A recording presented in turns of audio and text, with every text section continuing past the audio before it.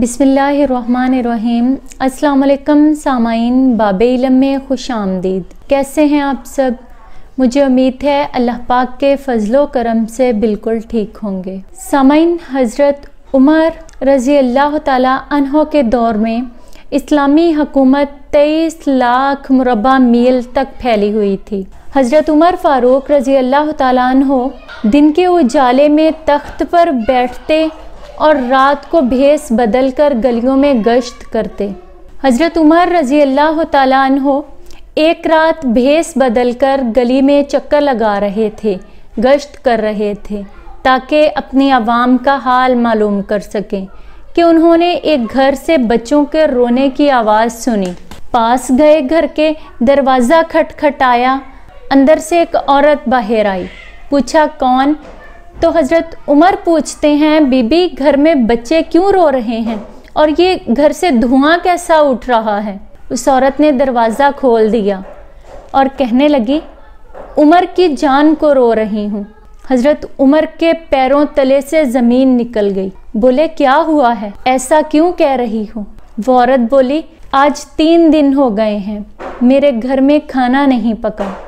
खाने पीने की कोई चीज़ है ही नहीं। बच्चे भूख से रो रहे हैं बिलक रहे हैं।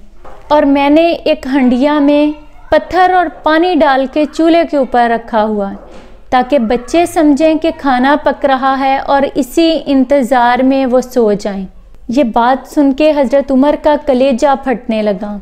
फ़ौरन पलटे। बैतुलमाल से जाकर एक घी का कनस्तर उठाया एक आटे की बोरी उठाई, मसाला जात और खाने पीने की कुछ चीज़ें एक और बोरी में डाली और वो भी अपने पास उठा एक गुलाम पास खड़ा था, भाग के आगे हुआ और बोला, मैं उठा लेता हूँ।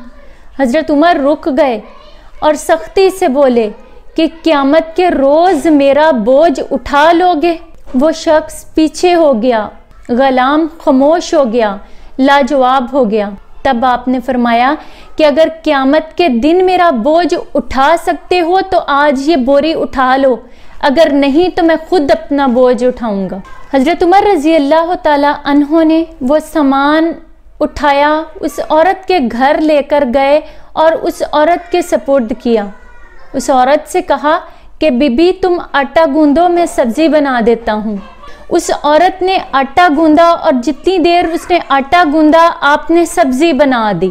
फिर वो सब्ज़ी पकाने की तैयारी करने लगी और हज़रत उमर फारूक रज़ी अल्लाह तहो जो बहुत बड़ी, बहुत वसी हुकूमत के मालक थे, चूल्हा जलाया। चूल्हे में लकड़ियाँ रखी और फूंके मार मार के आग जलाई। फिर जब वो औरत हंडिया पका रही थी तो हज़रत उमर फारूक महसूस करते हैं कि बच्चे रो रहे थे, अब चुप कर गए हैं, कहीं सो ही ना जाएँ। तो हज़रत उमर फारूक ने अपने दोनों हाथों को इस तरह से ज़मीन पर लगाया, अपने घुटनों को भी ज़मीन पर लगाया और सहन में इधर से उधर उधर से इधर चलने फिरने लगे, ताकि बच्चे उन्हें देखें और खुश हो जाएँ। सामाइन ये मैं किसी एमएनए या एमपीए की कहानी नहीं सुना रही। ये मैं किसी सदर या वज़ीर आज़म की कहानी नहीं सुना रही। ये मैं आपको हज़रत उमर फ़ारूक रज़ी अल्लाह तहों का वाक़ बयान कर रही हूँ, जिनकी इस्लामी हकूमत की हदूद बेहद वसी थी। मदीने से लेकर मकरान तक, बलूचिस्तान का एक हिस्सा है। यहाँ तक, और फिर दूसरी साइड पर, अलामीनिया से लेकर हमस तक फतह कर लिया था। इतना बड़ा हुक्मरान इतनी अजीम और वसी सल्तनत का मालक आज एक अपनी आवाम के, एक गरीब औरत के बच्चों के लिए घोड़ा बना हुआ है और बच्चों को बहला रहा है, खिला रहा है। हज़रत उमर फरमाते हैं कि जिस वक्त हंडिया पक गई, वो औरत और बच्चे खाना खाने की तैयारी करने लगे।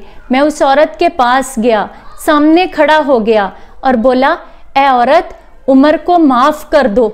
वो बोली, नहीं, कभी नहीं।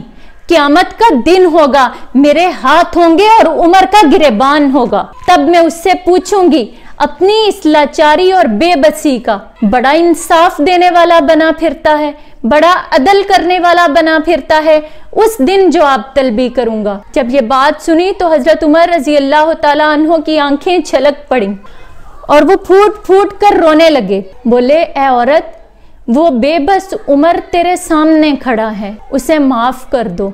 उस औरत ने जब ये सुना तो उसके हाथ कांपने लगे, उसकी निगाहें झुक गईं। बोली, आप उमर हैं। शर्मिंदगी से सर उठाया नहीं जा रहा, और उधर हज़रत उमर माफिया मांग रहे हैं।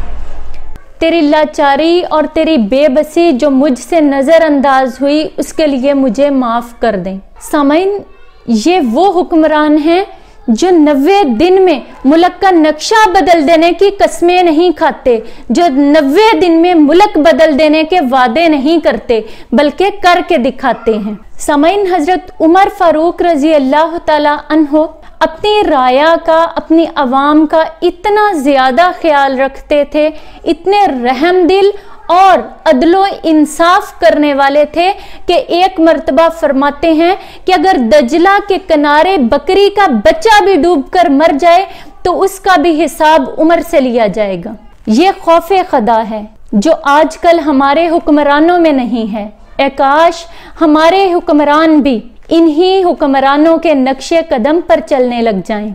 सामाइन हज़रत उमर फ़ारूक रज़ी अल्लाह तहो वादे करने और फिर भूल जाने वाले हुक्मरानों में से नहीं थे, बल्कि हज़रत उमर फ़ारूक रज़ी अल्लाह तहो वो हुक्मरान थे जिनकी ना सिर्फ़ इस ज़मीन पर हुकूमत थी, बल्कि हवाएँ भी उनका हुक्म मानती थी।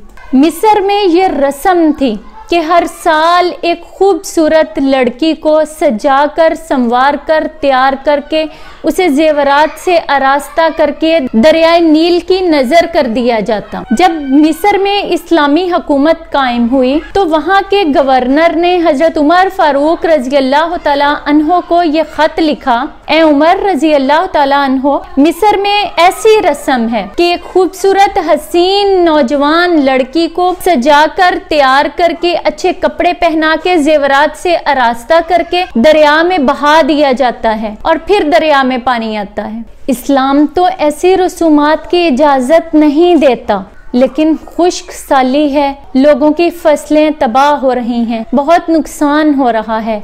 अब मैं क्या करूँ? तब हज़रत उमर फारूक रज़ी अल्लाह तहोने एक कागज़ लिया और उसके ऊपर लिखा, बिस्मिल्लाहिर्रहमानिर्रहीम, मिस्र के नील की जानब उमर का खत। दरिया नील, अगर तू खुदा के हुक्म से चलता है तो चल। लेकिन अगर तू खुदा के हुक्म से नहीं चलता तो हमें तेरे चलने की कोई ज़रूरत नहीं है। ये अल्फाज उस कागज़ पर लिखे, कागज़ को फोल्ड किया और कासद को दे दिया और उसे कहा कि इसको ले जाओ और ले जाकर दरियाए नील में बहा देना। वो कासद गवर्नर के पास वो खत ले गया और ऐसा ही किया गया। उस खत को दरियाए नील में बहा दिया गया। और फिर दरियाए नील में ऐसा पानी आया कि आज तक कभी बंद नहीं हुआ। सामाइन अगर आपको मेरी आज की वीडियो पसंद आई हो तो लाइक और कमेंट करें।